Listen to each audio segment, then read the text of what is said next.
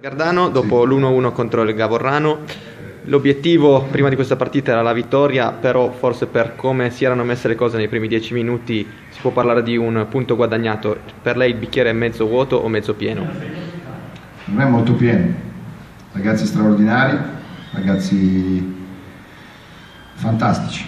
Credo che oggi abbiano, abbiano, abbiano fatto una partita al di sopra di ogni, di ogni condizione sei stato in 10 in 92 minuti, 90 minuti, eh, siamo stati bravi, siamo stati bravi, hanno lottato, sono stati in partita, l'imperativo era non prendere il secondo gol cercando di recuperare, eh, credo che la squadra sia in crescita, sia dal punto di vista tecnico che dal punto di vista tattico che dal punto di vista fisico.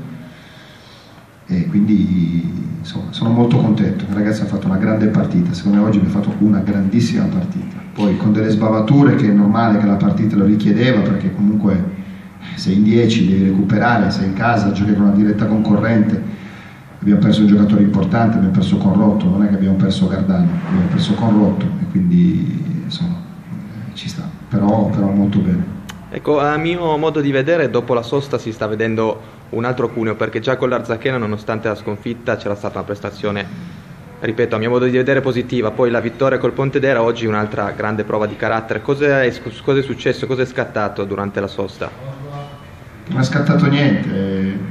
Leggo in, giro, leggo in giro sui giornali, su social, in tutta Italia progetto giovani, situazioni... Questo è un progetto giovane. Il progetto giovani significa dare spazio, dare tempo, dare fiducia, incoraggiare, supportare sopportare e aiutare. Questo è un progetto giovane. Oggi il Cuneo, negli ultimi quarto d'ora, aveva in campo un 98, un 2000, 2,97, 2,96, un 95. Questo è un progetto giovane. 7 fuori quote in campo, comunque 7 under. Questo è un progetto giovane. Ecco, mister, quanto ti è dispiaciuto togliere a Peri dopo 7 minuti? Mi è dispiaciuto per Seba Sebastiano è un ragazzo che si impegna, un ragazzo di buoni valori, anzi di ottimi e alti valori, un ragazzo educato, un ragazzo che è dedito alla causa. Eh, bisognava sacrificare uno. Eh, mercoledì abbiamo sacrificato Marco Cristini, come dicevamo martedì, come dicevamo venerdì, alla causa della vittoria. Oggi, oggi bisognava togliere un giocatore. Ho pensato di non togliere due davanti, che comunque se vuoi provare a vincere devi mantenere due attaccanti ed è normale che sia così. E allora ho tolto Seba a malincuore, sicuramente. Avrai detto che toglievi il secondo.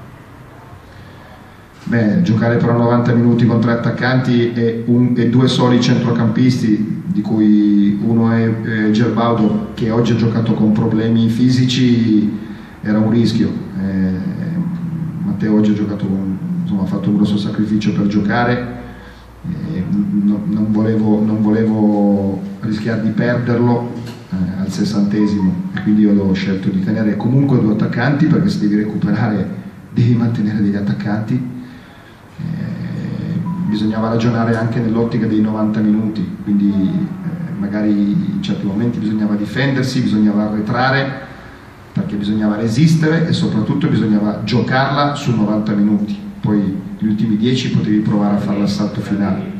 Abbiamo avuto un pizzico di sfortuna perché a due minuti dalla fine se Martino il rimpallo gli dice favorevole si trova tu per tu col portiere. Questo forse sarebbe stata una mano della fortuna che in questo momento oggi, oggi non ci ha aiutato anche perché abbiamo sbagliato il calcio di rigore. Sì. questo è importante perché insomma il calcio di rigore se lo segni porta punti. Assolutamente sì. Ecco, porta gol più che altro. Portagole, più che altro era il, il tempo, se facevi gol nel rigore avevi più tempo per provare a organizzarti e a, eh, e a provare a vincere la partita. È normale che poi, dopo che abbiamo fatto il pareggio, eh, insomma avevamo tre attaccanti dentro, D'Agostino che è più un giocatore offensivo che difensivo, eh, Pellini che comunque aveva già fatto quasi da solo 70-80 minuti bisognava un po' ragionare anche lì che cosa fare, però insomma eh, abbiamo avuto ancora una mezza opportunità, però credo che oggi i ragazzi sono stati